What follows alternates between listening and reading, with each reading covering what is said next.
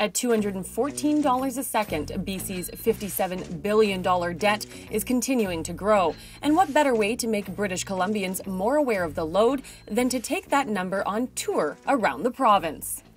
So we want to make sure people understand how much we owe. And then we want to talk to them about what government's priorities should be. The idea that government can solve every problem in British Columbia doesn't work. It's too expensive, we can't afford it, and it's impractical.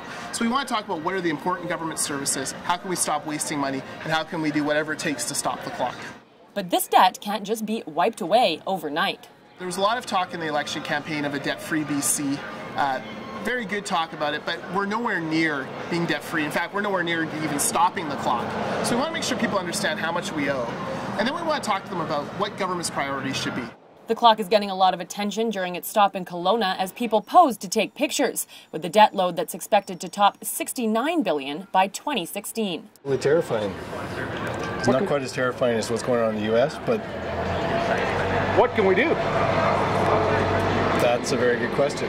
The, the, whole economy on a global level as a whole is going into debt, um, so we're kind of just going with the pace. But I don't. Uh, it is a big number, yeah, unfathomable to most people, as well as me. I mean, the government should probably uh, focus on reducing the debt and, uh, you know, helping themselves out.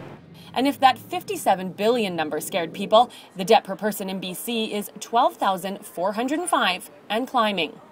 This is specifically government debt. So this is the government spending money on our behalf. Some of it for very worthwhile projects like hospitals and schools. Some of it to balance the books and, and you know wasteful spending. Not all of it is uh, some sort of nefarious evil debt. The clock will tour 30 cities in two and a half weeks, with the final leg finishing in Prince George. Jen Zielinski in Kelowna for Castanet News.